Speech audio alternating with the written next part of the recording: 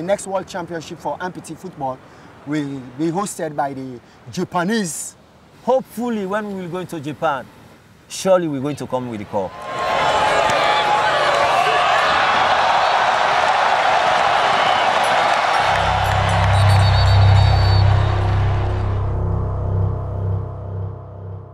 The rebels, they came, they surrounded the house.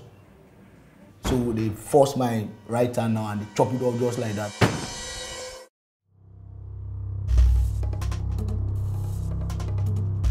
Most of them were thinking that life is just over. There's no reason worth living again.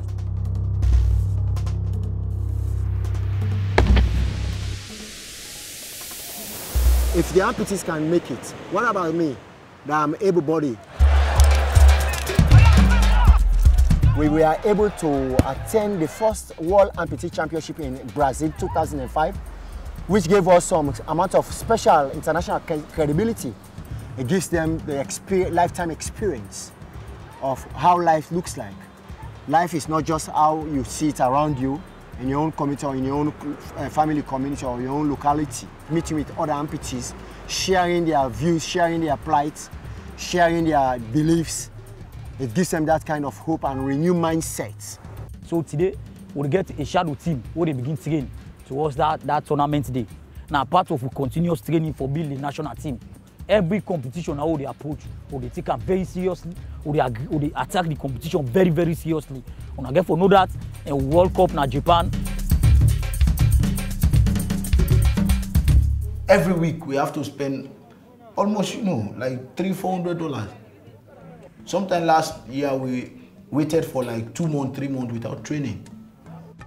The last time we were training to go to Argentina for the World Cup, but due to financial problem, we did not unable to go. If you are not funded, you bankrupt, and this thing will die down. Since we started, we have not relent, and we always put our energy to make sure that the team is not dying down. That's our aim. So I need to do something for the nation to know that amputee is no longer finished. We still have faith.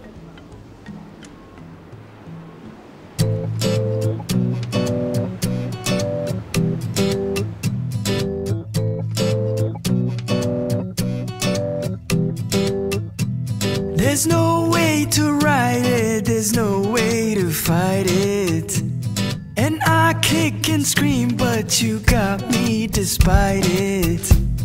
And I got my pride, so I begin to hide it. Like fire